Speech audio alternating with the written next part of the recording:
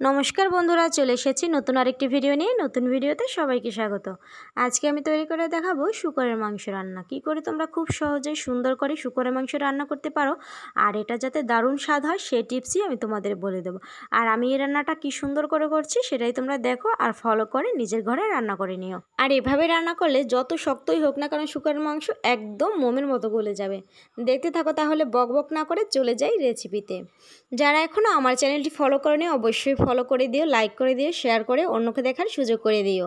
আর যারা ফলো করে আছো লাইক করছ সাপোর্ট করছ, সবাইকে অসংখ্য ধন্যবাদ।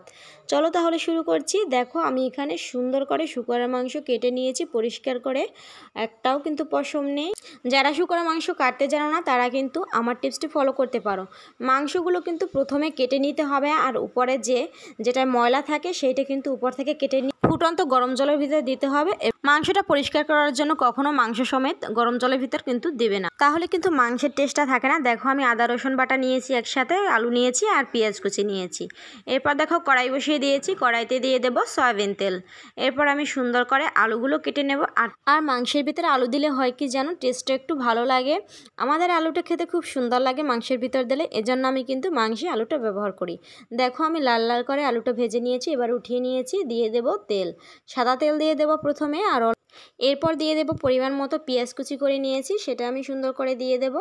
আমি এখানে এক কেজি মাংসের জন্য এখানে বড় সাইজের চার থেকে পাঁচটার মতো পেঁয়াজ কুচি করে নিয়েছি। তোমরা চাইলে বেটেও দিতে পারো।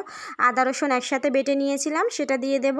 এরপর সুন্দর করে পাঁচ থেকে ছয় মিনিটের মতো সুন্দর করে লাল লাল করে ভেজে নেব। যখন দেখব হালকা বাদামি রং হয়ে আসছে, একটু জল দিয়ে দেব, যাতে মশলাটা সুন্দর করে কষানো হয়। এরপর দেখো দিয়ে দেব পরিমাণ মতো হলুদ গুঁড়ো।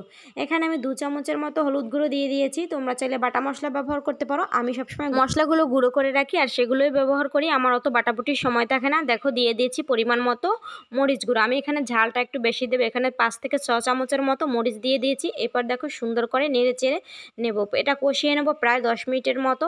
মশলাটা যত কষানো হবে, মাংসটা খেতে কিন্তু অতটাই সুন্দর হবে। তোমরা আমার টিপসগুলো ফলো করে নাও, দেখবে তোমাদের রান্নাও কিন্তু সুন্দর হবে। দিয়ে দিয়ে দিয়েছি ভাজার সাথে দু টেবিল চামচ সরিষার তেল। দেখো, এরপর দিয়ে দেবো মাংসটা। কষানো কিন্তু আমার হয়ে গেছে। এবার মাংসটা দিয়ে পঁচিশ থেকে তিরিশ মিনিটের মতো আমি এটাকে সুন্দর করে কষিয়ে নেব। মাংস কষানো যত সুন্দর হবে, মাংস খেতেও কিন্তু অতটা দারুণ হবে। দেখো কতটা ভালো লাগছে এখনই। এরপর আমি পঁচিশ থেকে তিরিশ মিনিটের মতো কষিয়ে নিয়েছি। এরপর দিয়ে দেব লবণ। জলটা যখন টেনে যাবে তখন তোমরা লবণ দেবে। না হলে কষাতে কিন্তু তোমাদের আরও সময় লাগবে। এরপর দেখো আলুটাও আমি দিয়ে দিয়েছি আর দিয়ে দেবো ফুটন্ত গরম জল। আমি কিন্তু এখানে টক বাগানো গরম জল দিয়েছি। তোমরা অবশ্যই মাংসে গরম জল ব্যবহার করবে। ঠান্ডা জল দিলে কিন্তু শুকরের মাংস এমনিই শক্ত হয়ে যাবে। এরপর দেখো আমার আমার মাংসটা কিন্তু জাল করা হয়ে গেছে প্রায় চল্লিশ মিনিটের মতো। তখন কিন্তু এই অবস্থা এরপর ঝোল ঝোল থাকতেই কিন্তু আমি ফ্রনটা দিয়ে দেব।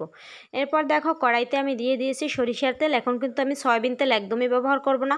তাহলে কিন্তু স্বাদটা কখনোই ভালো আসবে না। এরপর দিয়ে দিয়েছি দেখো দুইটার মতো তেজপাতা।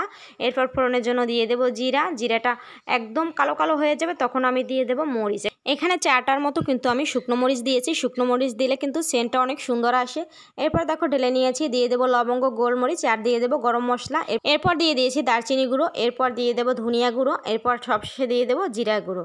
এরপর কিন্তু আমি পনেরো থেকে বিশ মিনিটের মতো গামলা দিয়ে একদম বাতাসটা যাতে বাহিরে না বের হয়, এরকম কিন্তু ঢাকা দিয়ে রেখে দিতে হবে। না হলে কিন্তু মাংসটা একদম শক্ত শক্তই থেকে যাবে। আর তোমরা যদি এভাবে গামলাটা দিয়ে ঢেকে দাও, তাহলে কিন্তু মাংসটার ভিতর মশলাটাও সুন্দর করে ঢুকে যাবে একদম। আর কিন্তু খেতেও খুব দারুণ লাগবে। সবগুলো মাংস কিন্তু আমার একদম গলে গিয়েছিল, খেতে কিন্তু খুব দারুণ হয়েছিল।